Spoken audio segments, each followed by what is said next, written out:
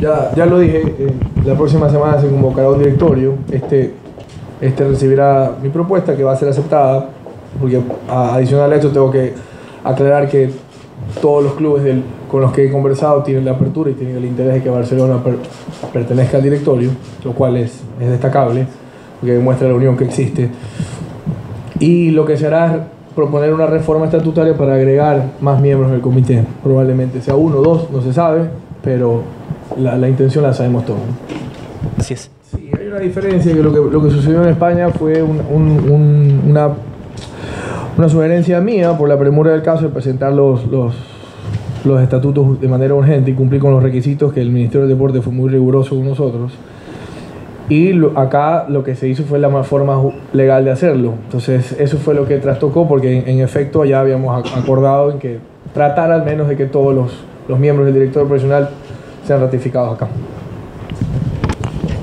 Creo que con esta respuesta y exposición del presidente de la Liga Profesional quedó demostrado el respeto que se le tiene a una gran institución por su gran hinchada y por su historia. También Barcelona estará en la Liga Pro- Profesional siempre y cuando haya los cambios anhelados y establecidos.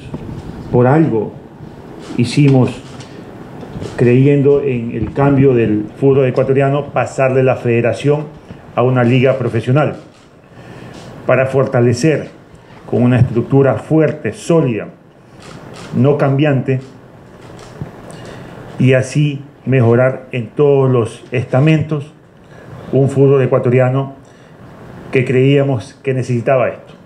Por ello, hoy recalco esa postura que Barcel- Barcelona estará en la liga profesional siempre y cuando se respeten estos procesos, procedimientos regidos por un estatuto que proteja y respalde la evolución del fútbol ecuatoriano.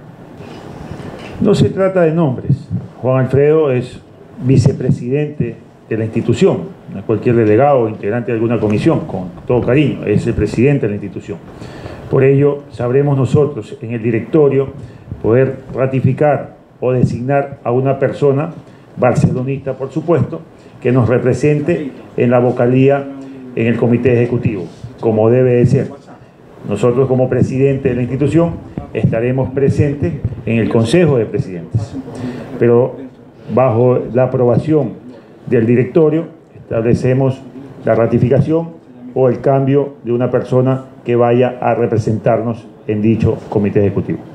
Ponderar la apertura, la predisposición del señor presidente de la Liga de poder buscar soluciones y hoy, ante las disculpas, las excusas eh, pertinentes, ante la gran hinchada barcelonista, ante los dirigentes de Barcelona, ante los medios de comunicación, sabemos que estamos en el camino que iniciamos, de estar presentes, siendo partícipes desde adentro de todos los cambios que necesita el fútbol ecuatoriano.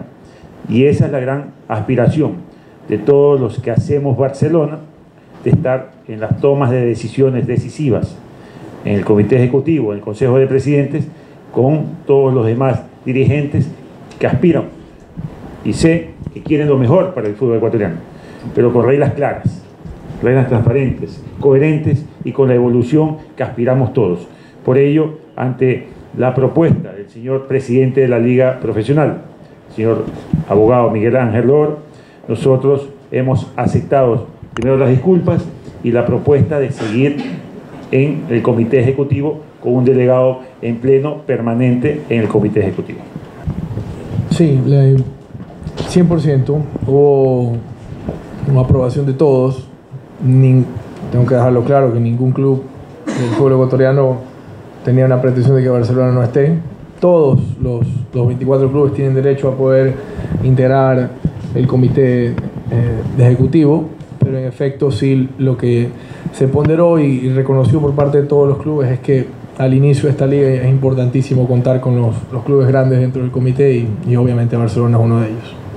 manifestado que Barcelona estará en la liga profesional siempre y cuando se respeten la normativa, los estatutos y se haga respetar como el día de hoy a las instituciones. Sabemos que los derechos de televisión es un tema fundamental e importante, como otros, pero creemos y estamos seguros que bajo un estudio muy técnico, considerando parámetros importantes, por eso hemos tenido la experiencia de la Liga Profesional Española, con parámetros importantes, creemos que Barcelona tendrá unos ingresos equitativos importantes. Buscamos la equidad, pero también buscamos ratificar lo que genera Barcelona.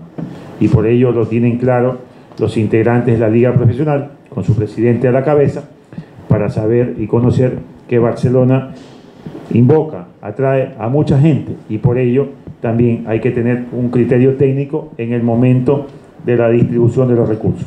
Por ello, sigo manifestando que Barcelona estará presente en la liga profesional siempre y cuando se respeten ciertos reportes técnicos, la normativa y también el tema de los estatutos vigentes, que siempre vamos a intentar adecuarlos, actualizarlos, no a beneficio de alguien en particular, porque es normal que un dirigente siempre luche por su club, pero por encima de todo aquí está el fútbol ecuatoriano.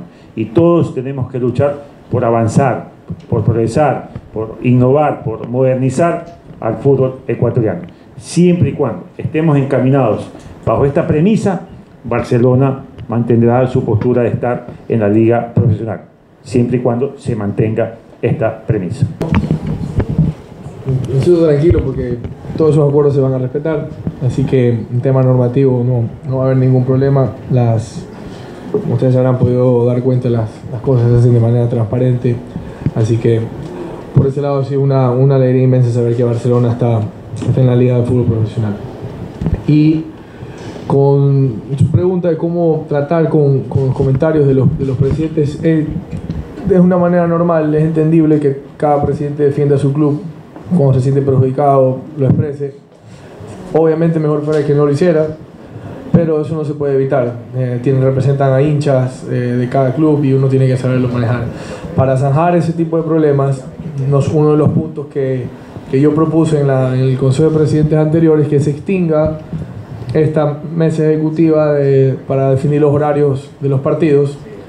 Será a partir de un par, dos, tres semanas, porque nosotros todavía no, hacemos cargo, no tomamos cargo formalmente pero evitar que los clubes participen en esta decisión de los horarios, porque genera esto, genera este tipo de problemas. Y la idea es que lo haga directamente la empresa dueña de los derechos de televisión y lo haga un delegado de la liga, que en este caso seré yo o alguien que yo delegue, que probablemente sea el director ejecutivo, nadie más. De esta manera se zanjan los problemas y los horarios se establecen de, de, eh, basados en, en, en, temas técnicos netamente, en qué conviene y qué beneficia a los 24 clubes del fútbol ecuatoriano.